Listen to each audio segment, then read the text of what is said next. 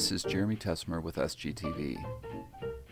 Fourteen years ago, the gallery first began to document the contents of the estate of an artist named Nell Brooker Mayhew. In walked Frank with two large artist's portfolios tied with worn black ribbons and bursting with the life's work of this obscure woman artist.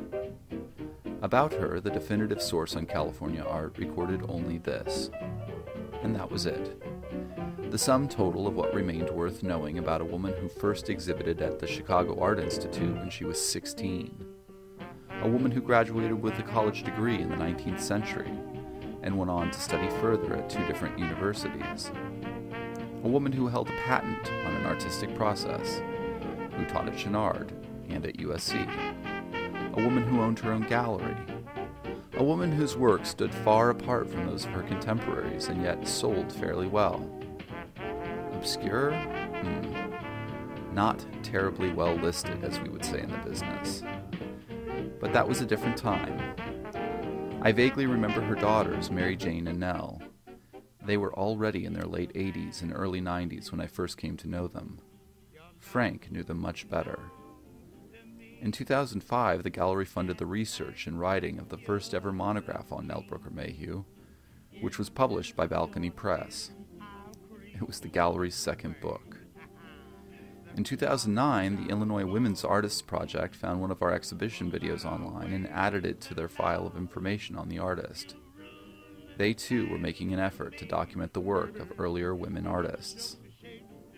In 2011, Mayhew's work was published in LA Rising, and within the last year, she's been given a rather lavish spread in the new and authoritative compendium of California's women artists emerging from the shadows.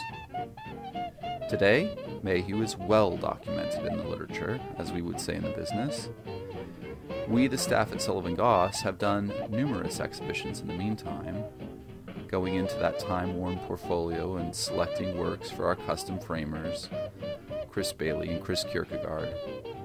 We have watched as one of our heroes has become better and better known. And meanwhile, the works have sold and sold and sold. For this exhibition, however, I am excited to announce that we've finally gotten our hands on three of Mayhew's oil paintings straight from the family. These have been exceedingly rare. Balboa Bay, seen here, is listed in an early exhibition catalog from the first contemporary gallery to handle her work now 27 years ago.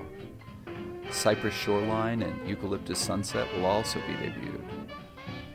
We've also gotten our hands on three color etchings that were misplaced and rediscovered gestural, lyrical, spontaneous, and so distinctive in the history of Southern California's art scene.